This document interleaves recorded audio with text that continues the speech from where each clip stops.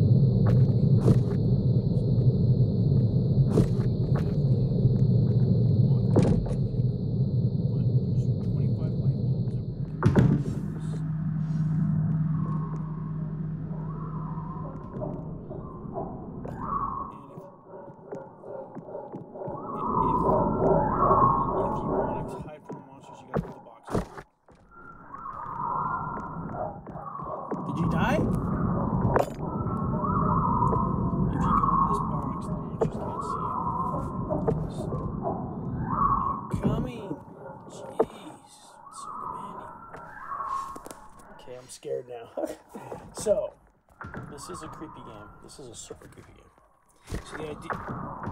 What?